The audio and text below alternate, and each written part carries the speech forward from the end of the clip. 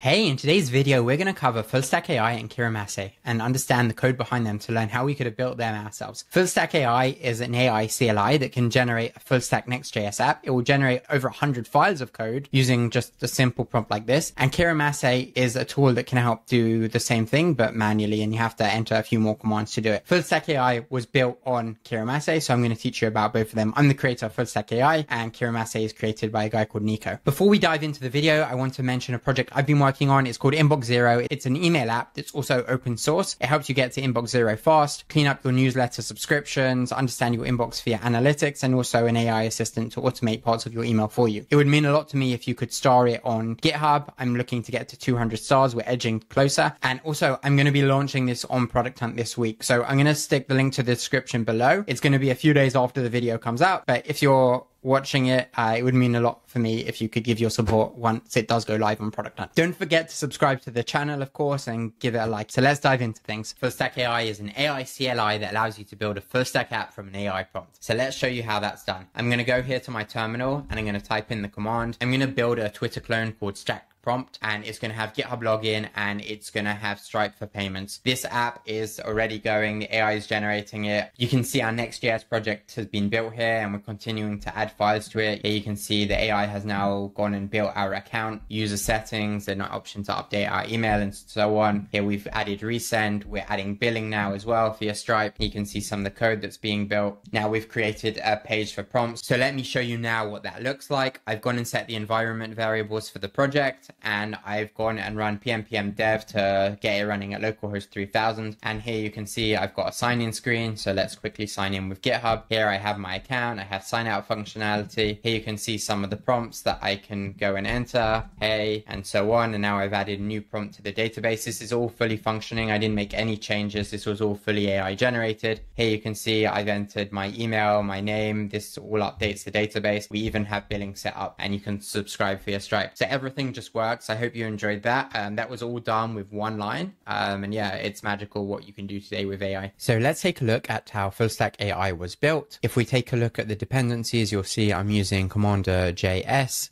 I'm using OpenAI. I'm using execa. These are the main packages that I'm using for this project. By the way, right now I'm on the dev branch. By the time you're watching it, it might be merged into the main branch. But let's take a look. You can see I have a source folder here with the entire project. It only has four files in it and one is just for types.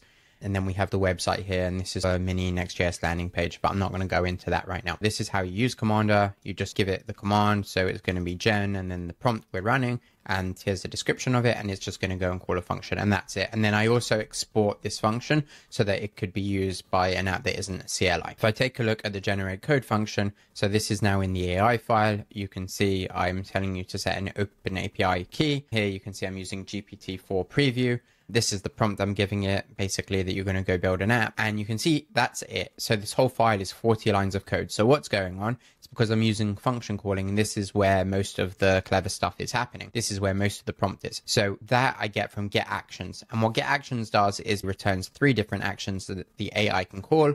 One is creating the Next.js app, one is initializing Kirimase, and the third one is the Kirimase generate command, and that's to add things like models and API routes. If we look at each one of these, the create next app one should be pretty simple. I give a name to the function, I give a description to it, and I also pass that the function, that the arguments that OpenAI pass me is in the right format. So for that, I'm using Zod. And here you can see the parameters are passed in. So Zod create next app, this one, which is the Zod object that can go and pass it, and even the schema description, it's all coming from the same same place. So let me take a look here. This is the types file. You can see that for create next app, I'm taking one thing in and all the only argument I'm accepting right now is the name of the application. I'm also creating a TypeScript type from it.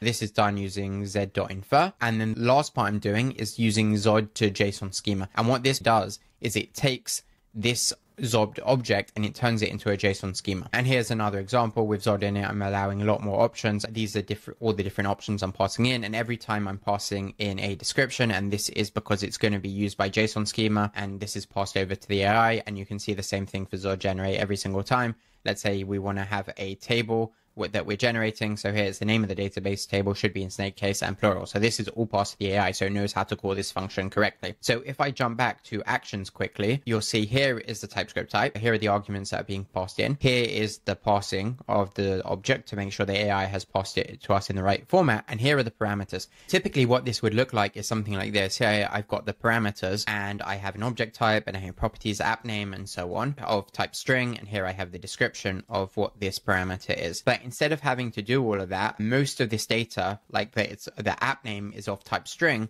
I can actually get from the Zod object. So that's why I added describe in just to add the description, something I typically wouldn't do when I'm using Zod, but so that Zod to JSON schema can properly work and send all the data it needs to OpenAI. So that's why I do use dot, dot describe. So instead of having to type all that out every time, and for the other objects there are many parameters, so it, it definitely saves some time and you don't have to duplicate code. And it's the same idea with Masse init and the same idea with Kirimase generate. So really the bulk of the logic is just in this file types. I do some transforms in the type just to make sure the AI isn't screwing up. Here you can see when I'm calling create next app, this is how it works. So first I'm going to get the app name from the args. I'm going to make sure it's lowercase, otherwise this is going to fail. And here you can see I'm running the npx command and this is using execa calling another CLI from my CLI. And that's how you create a Next.js app using a Node.js code.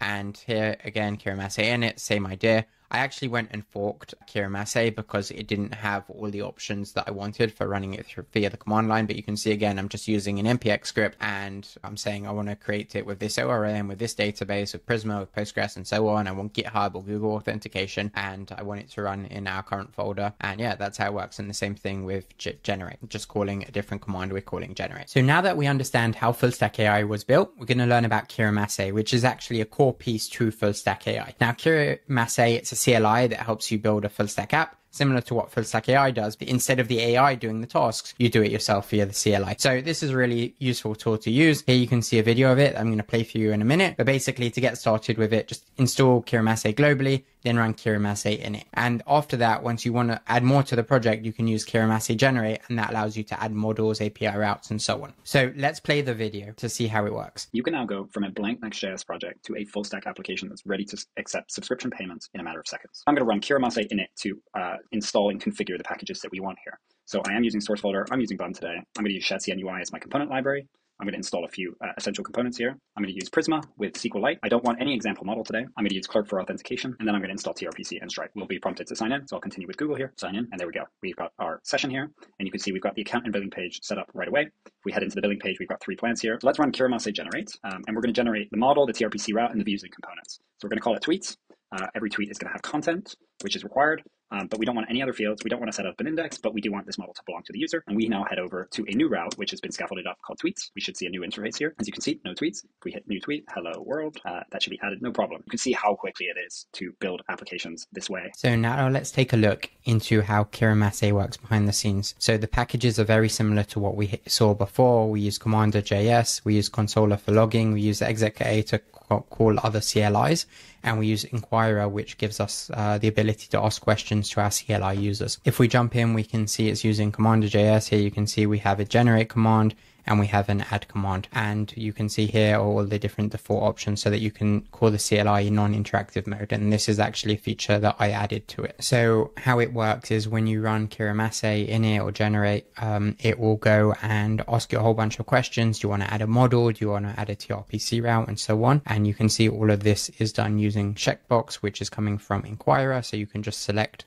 via checkbox in the CLI what you want to have generated. And then to generate the code, you'll see in this generators.ts file, for example, this is generating for NextAuth. You can see we're generating the uh, account model that is needed for NextAuth to work. You can see if we're using PlanetScale, we might have a different index set up and so on. Here you can see the session, the user, and basically your entire app is just going to be generated via simple strings that are built for you like this. Um, the power of this is there's a lot that is set up. Um, but if you want to understand how it works, it's basically just CLI via commander.js. And then we're going to create the strings of what we want to create. And then we're just going to write the files into the project. That's it. If we take a look at another generator here, you can see this is the code for Lucia. Here you can see we're adding um, some front, some front end React code with Tailwind classes and so on. Here you can see the sign up page And basically every package we add, there's just going to be more and more text that's added to the project. So overall, it's quite a simple project, but it's extremely powerful in what it can do. So that's the end of today's video. I hope you enjoyed it. Go give Full Stack AI and Kirimase a try. I think it can help you become a lot more productive in your